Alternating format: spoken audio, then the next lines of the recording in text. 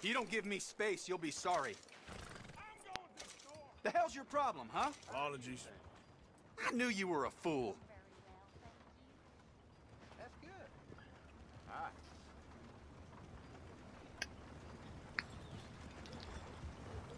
Enough of your nonsense! Incredible. Can't wait to kill you! You son of a bitch.